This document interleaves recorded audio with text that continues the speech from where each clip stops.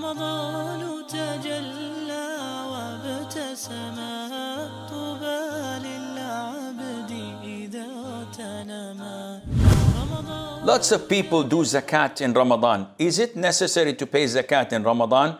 Who should pay zakat? Who should pay zakat al-fitr? These are many questions related to zakat. First of all, you have to understand what zakat is. We're not going to talk about zakat of livestock. We don't have livestock usually. We're not going to talk about zakat of crops because we don't have farms usually.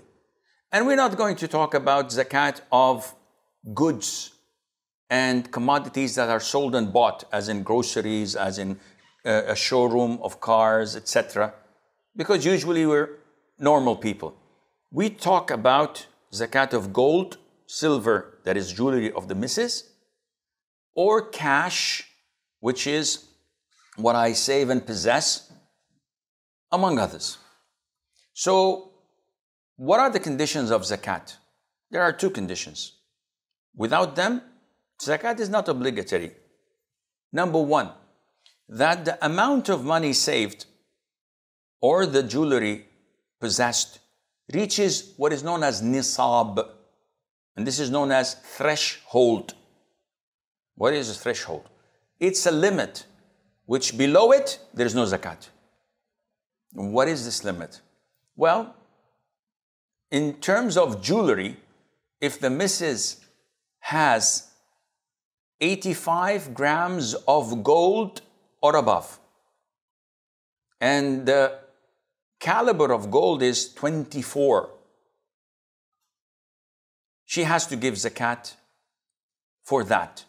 If she has 84 sheikh, there's no zakat.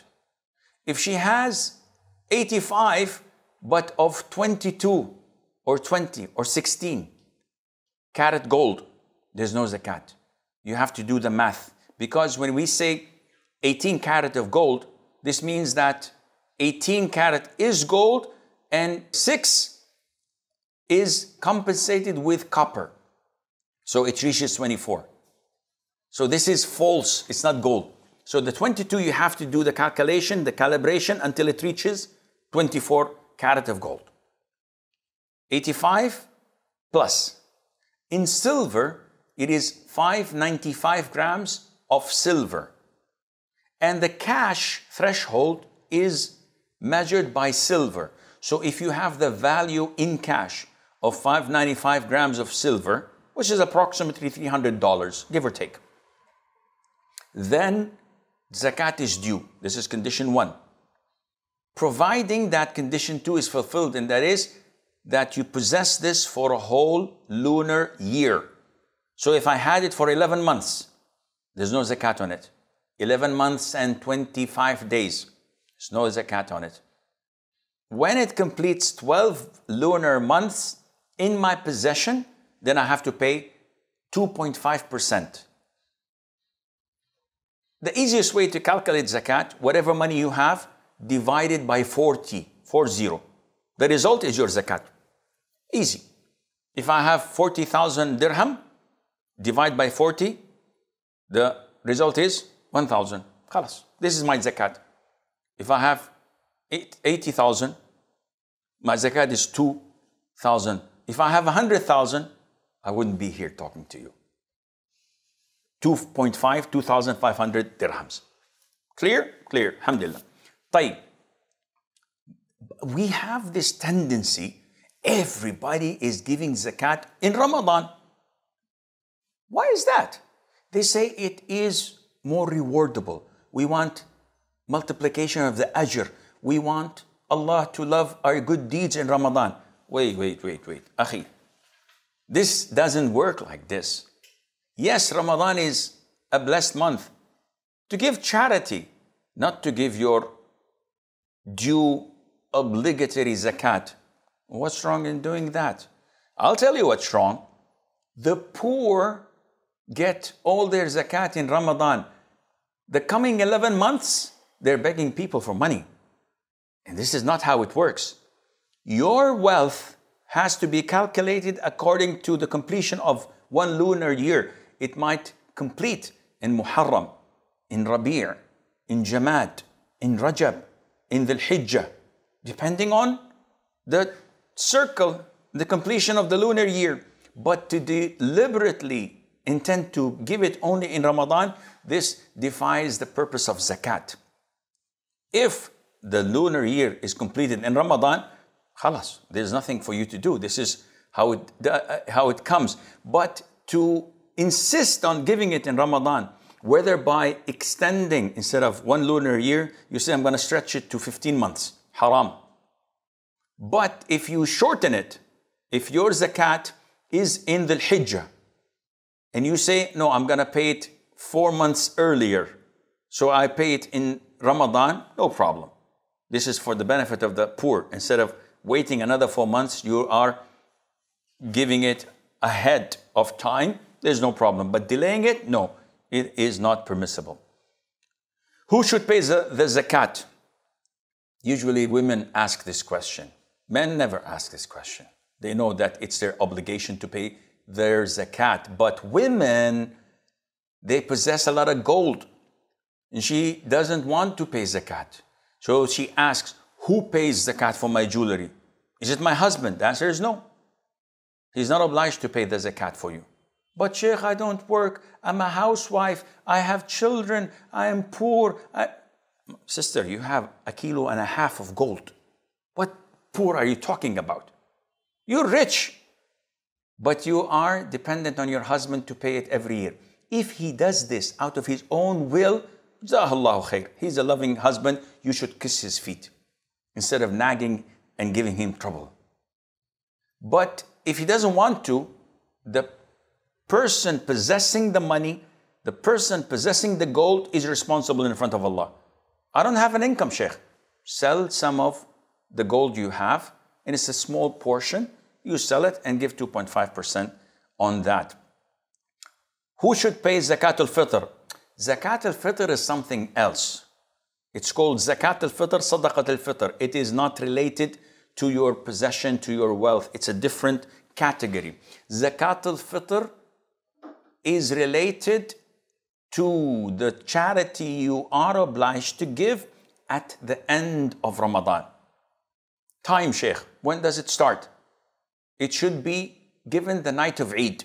So tomorrow is the day of Eid. You should give it before the Adhan of Fajr, the last night. And it can be up to the 27th or the 28th. So giving it two or three nights earlier is no problem because Abdullah ibn Umar used to do this and a number of the companions, may Allah be pleased with them. So can I give it on the 15th of Ramadan? No. Can I give it on the 1st of Ramadan? Definitely not. Though some schools of thought say it's okay, but it's not okay. What is the amount, Sheikh?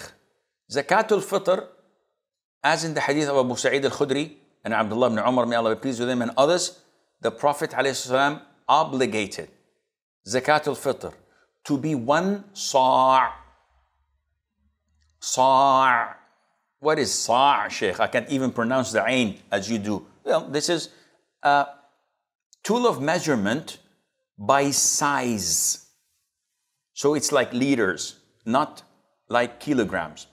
So a sa' is a container, and this container is measured, or, or, we measure with it items like dates, like barley, like wheat, like sugar, things that are consumed and measured by size. One sa' is equivalent to four mud. And the mud is what is gathered in the palms of your hands so if I have rice, I just do this and I fill it up. This is one mud. One, two, three, four. This is one sa'. So the zakat al-fitr is one sa'. If it is measured with rice, this one sa', when put it on a scale, it weighs about 2 kilos, 0.125 grams. Of course, if I weigh in the sa' dates, the weight is going to be different. If I put in this size barley, it's going to be different in weight than rice or than wheat or than dates, etc. because the size is one, the weight is different. So usually the scholars give the weight in kilograms because this is the most common. But if they give the zakat in flour, it's different. So they have to go to the size again and check how much it weighs in flour, in barley, in uh, corn, in whatever. Who should we give it on behalf of? Well, it's the responsibility of the father of the house, the guardian of the house, the one who spends money and puts food on the table. And he has to pay it on behalf of those who live under his roof and eat from his kitchen. So we pay for Muslims, whether women or men, whether freed or slaves, whether young or old. And this is the instruction of the Prophet. Why do we do this? Purpose? One, so that the poor would not need to beg on the day of Eid.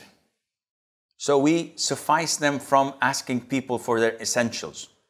Do I have to give total strangers to me? No.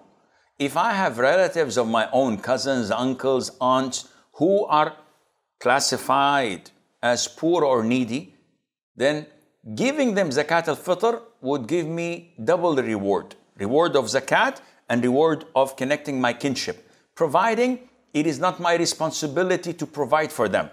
What do you mean? I can't go to my son who is poor and give him zakat al-fitr because it's an obligation upon me to feed him. I can't go to my grandfather who is classified as needy and give him my zakat al-fitr because this is my responsibility. But if a sibling of mine, a brother who's married, and if he dies, I will not inherit him because he has children, or my father is alive and my sibling is stone broke, and I give him zakat al-fitr, this is valid and okay, and I get double reward. Can we give all my zakat al-fitr to one person who's poor? Yes. I don't have to feed, if I have 10 in my family, I, have, I don't have to feed 10 poor people. No, I can give all of our rice or wheat or whatever to one single poor person without any problem.